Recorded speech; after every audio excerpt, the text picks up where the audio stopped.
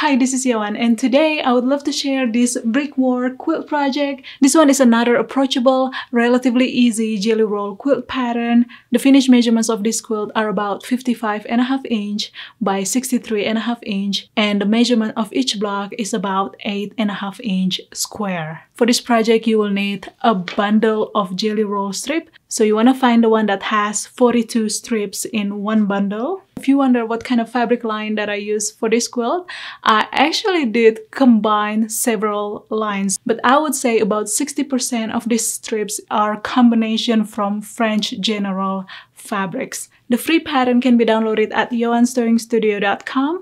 I will have the link in the description box down below. So I hope you enjoyed this video and let's get started.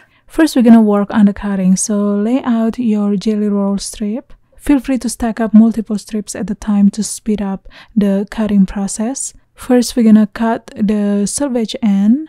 Now take your ruler and then measure six and a half inch. So here I'm aligning the edges of the jelly roll with the six and a half inch point mark and then cut and then go ahead and measure another six and a half inch and cut and we're gonna call this fabric one now my strip started to get a little wavy here, so I'm just gonna start from the opposite end now.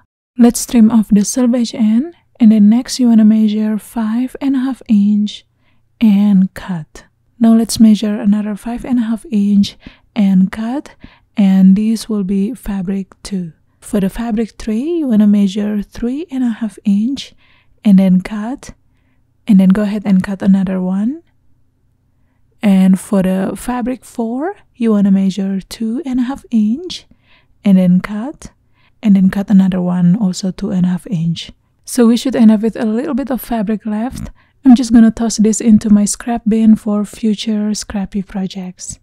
So in one strip, you should get in total of eight fabrics, two of each fabric one, two, three, and four. We're gonna cut all 42 strips in the same manner from which we're to end up with 84 pieces of each fabric 1, 2, 3, and 4. We're to start by piecing fabric 1 and fabric 4, so go ahead and grab one of each, lay them right sides together, and then sew with quarter of an inch of seam allowance. To make this much quicker, you can do chain piecing, so set up your fabrics nearby. Now grab fabric 1 and 4 and then stitch them together and then without cutting the thread you wanna grab another pair and then continue stitching. So you can continue on stitching for as much as you can and don't think too much about it as long as the two fabrics are not the same kind. Once you've done chain piecing cut the thread so that this will become individual pieces and then press the seams towards any direction. There is no particular order for this one. I typically press my fabrics towards the darker fabric. So you should end up with 84 pieces of this and we're gonna call these panels combo A. Now we're gonna sew fabric 2 and fabric 3 together. Just like before, I do chain piecing to make this super quick. Press the seams towards any directions and voila, you should end up with 84 panels as well. And we're gonna call these panels combo B.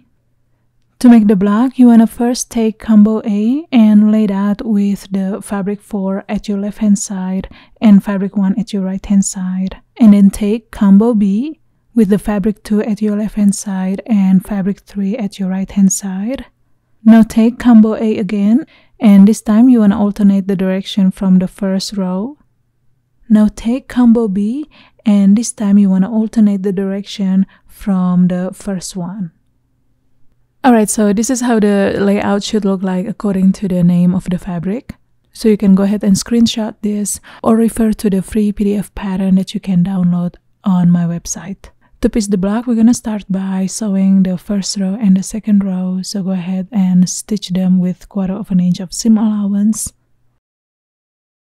Press the seams towards combo B. Now it is very important to keep the pressing direction consistent at this point.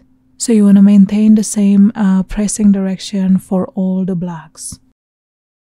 Next, we're going to sew the third and the fourth row. Press the seams towards combo B. Alright, now let's join these two panels together and press the seams towards combo A. Alright, so our block is done. And if you see on the wrong side here, let me show you the pressing direction. So they're all consistent towards the bottom. You can go the opposite way, but make sure to keep it consistent for all the blocks. Continue piecing the blocks and you should make in total of 42 blocks. When you lay out the blocks, you want to start with the original layout, this one here, and then lay out the next block 180 degrees from the original layout or right at the opposite, just like shown here.